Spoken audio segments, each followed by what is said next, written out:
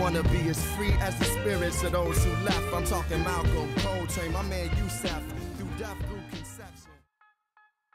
When I was four and a half or five almost, uh, we came to the United States, my father, mother, younger sister, and myself, on a boat across the Pacific Ocean in 1949. And um, uh, I remember the first view of the San Francisco Bay. It was the boat trip took two weeks, and um, I went to UC Berkeley three different times. Uh, the first time was right out of high school, and then within two years there was the free speech movement. That was 1964. That really changed my life because uh, I became radicalized in a significant way. It really took over the whole university and spread to other campuses and was really the beginning, put Berkeley on the map as a activist place. Um, I was one of those arrested, and it took place, you know, month after month.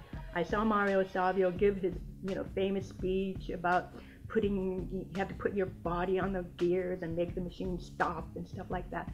This is all during, you know, the civil rights movement and the Vietnam War. So it's very, very uh, intense. And students had a sense of being a part, a critical part of what was going on. They had something to say and they had a position to take that they had to reveal to the, to the world.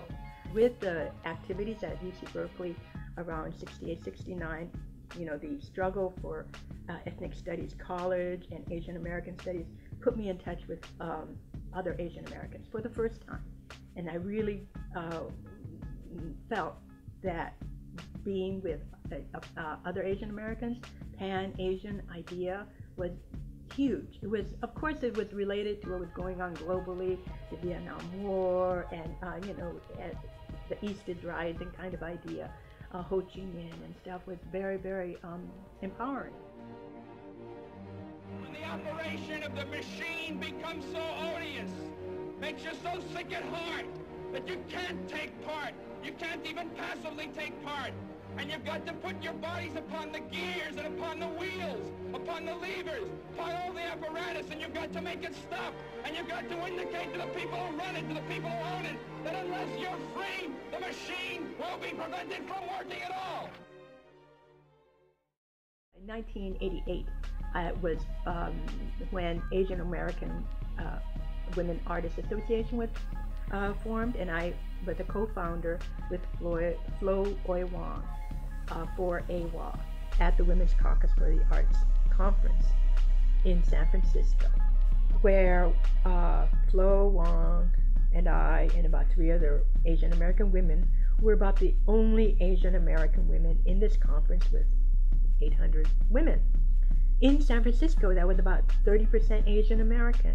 It was so wrong to have uh, to not have uh, representation and not feel that Asian American women were artists in that kind of professional capacity.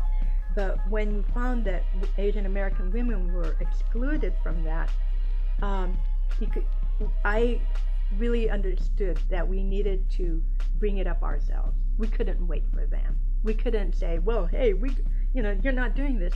We had to do it ourselves. That meant look at each other's work, write about it, be the organization that we wanted those other organizations to be. So we did that. Um, Flo and I uh, called our friends who are Asian American and said, we're going to get together and show each other our work in slides. So we had our first meeting, about, oh, six of us, six or seven of us at um, my house, and we showed each other our um, slides and talked about our work.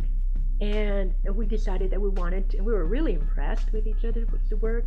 The fact is that Asian Americans are not uh, included in a lot of gallery representations or museum exhibits, and a lot of times exhibits are only, you know, they're demarcated. They, the person who curates the exhibit will uh, decide what to include. You know, the record shows uh, Asian American artists are, not uh, represented in, in, their numbers in many exhibits and um, um, museums.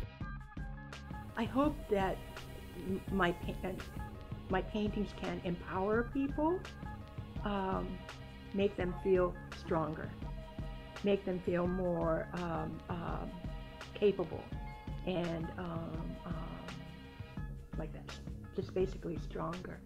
That's what I would like.